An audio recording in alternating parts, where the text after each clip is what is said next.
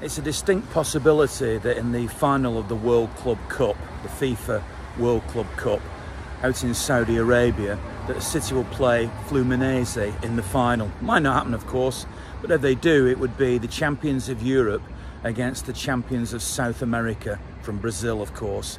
So, here to give us a little bit of an insight into what to expect is a guy who covers City over here in England, but he's Brazilian and he's a Fluminense fan. And he actually flew over to watch Fluminense win their equivalent of the Champions League. So, meet Fred.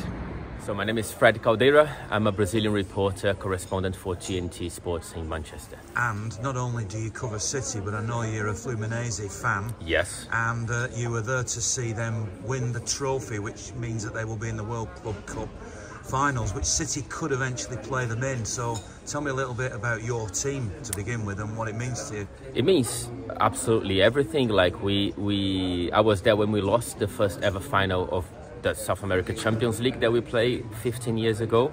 Uh, it's called Libertadores. So we played that, we lost, and now our second ever final, we finally won. So it was absolutely mental for us. It meant everything. And now it's the impossible dream, isn't it? Like for for us to be able to be a part of the Club World Cup is already a lot. I think it's a different take from the Europeans, maybe. Um, and possibly playing City just just to be able to play against City is something that means a lot to us. I think to dream about winning it is a step a bit too far, but just to be there, uh, it is a very valuable thing for us. So the competition that they want to qualify for this is the equivalent of the Champions League yes. in Europe.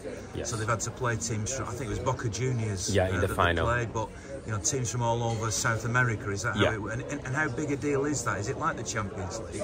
It is, if not even bigger, because um, it's it's just something that the whole continent stops to watch as well. Um, you have the biggest teams. Every country dreams about it. There is no uh, differences between the, the, the, the, value of that competition around the country. So Brazilian clubs, Argentinian clubs, Colombian clubs, Ecuadorian clubs. So, for example, in our journey to win the title, in our path to the final, we faced four former champions. So it was, a, bit like City in the Champions League as well, right, really, like facing Bayern Munich, uh, Inter Milan, and other former champions, Real Madrid. We faced Boca Juniors, we faced um, River Plate, and other big clubs, historically speak, speaking. So, yeah, it was it was really the best thing for us. I, I think there there are some similarities to what Champions League means to maybe the history of Manchester City and Libertadores for the Fluminense history as well. You are in a unique position because you report on City, yeah. you watch City regularly, a Fluminense fan. Yeah. Wow, I mean, when you look at that game now, it must mean so much to you to begin with, but also it must be very, everybody must be asking you what you think is going to happen. And I'm going to ask you as well, what's going to happen if the two of them play each other in the final? Yeah, yeah, it's, it's, it's the, again, the impossible dream because I would never imagine that I would be able to live that. Like it's almost the I don't know the the, the, the merge of my professional life with my personal life. Um, and yeah, I'm, I'm, I'm so much looking forward to it. I hope I hope Fluminense does go through the semi-final. I think we have a harder job than City because City are the best team in the world anyway, and they will be in the final most likely. Fluminense might face Benzema's team and the money of Saudi, so that would be a problem for us. But if we do go through when we face City, I think it would be a very interesting game for football nowadays because not only you have Pep and City stars and everything, the positional game. Um, Fluminense has an interesting manager that, interestingly enough, is the caretaker manager for the Brazilian national team at the moment at the same time. So his part-time job in club and national team. But what is interesting about him when we look from the perspective of City and Guardiola is that he is the A positional game. So instead of fixing the game, players with fixed positions, they do change a lot uh, positions. So sometimes we score when our left back is a right winger and our centre back is uh, number 10. So that happens quite often. So it's it would be interesting two different styles with lots of similarities but essential differences as well. I mean, I'm old enough to have grown up watching the 1970 World hmm. Cup team with Jairzinho and Pele and all the rest of them, Rivellino, and that was what made me fall in love with football. I've got to be hmm. honest. Oh, nice. And uh, and now the dream for me is to watch City play the best of Brazil. Mm-hmm. Is the best of Brazil still that beautiful football that that Pele and Jairzinho play? Because I've seen different incarnations of Brazilian football Yeah. where it's become a lot more pragmatic and even a bit more cynical. Were were a Fluminense now on the scale of great Brazil football teams? I think uh, to be as great as the 70 team is uh, the, the 82 team? 82 as well, yeah, exactly. So those two are the milestones for us in terms of quality. That's why the pressure is so. Even though the 82 didn't win the World Cup, people have that as a reference of how Brazil should play, how Brazilian players and Brazilian clubs should play. Um, we have been, you're correct, more pragmatic, more cynical. Um, of course, it doesn't help being in a position in the in the in the in the in the world that uh, clubs from Europe prey on our youngsters too early. So you have, I don't know, a Phil Foden. If he was born in Fluminense, he would not be playing for Fluminense anymore. In at City, he has the time, and no one's going to prey on him. It doesn't help us, but at the same time, Fluminense, even though the quality is absolutely miles away from this 1970, 1982, there is a bit of a rescue of that at least mentality. Football should be a bit more for fun. Should be a, football should be more entertaining. So there is that. That's why sometimes we score five and concede four.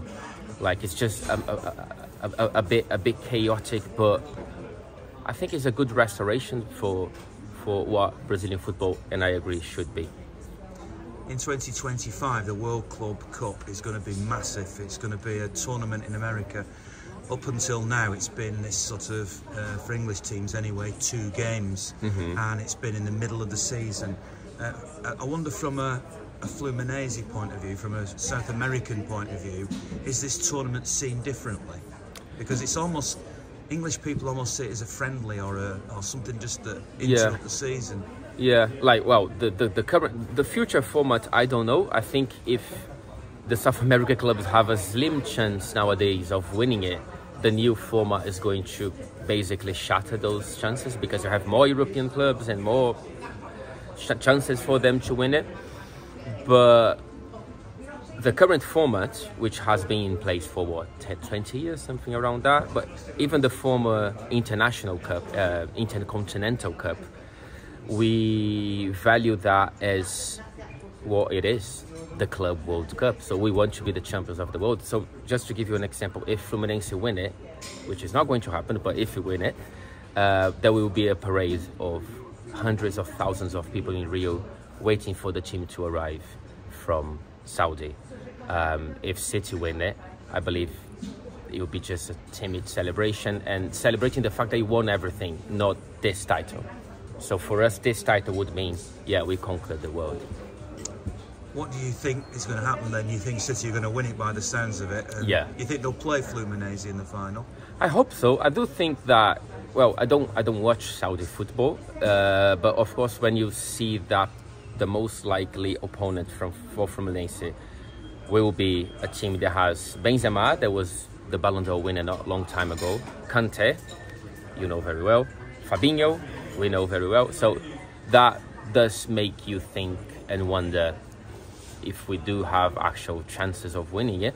But maybe they do have like a local left back that is not as great or a centre. back. I don't know if the team is just like three stars and not very good. The rest of them, maybe maybe we have a chance. I think it's a very very very dangerous game. So.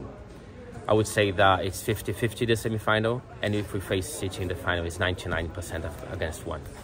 Final questions about the fans. I mean, I'm, I'm hoping to be over there. Uh, I don't know how many City fans are actually going to go to Saudi. Okay.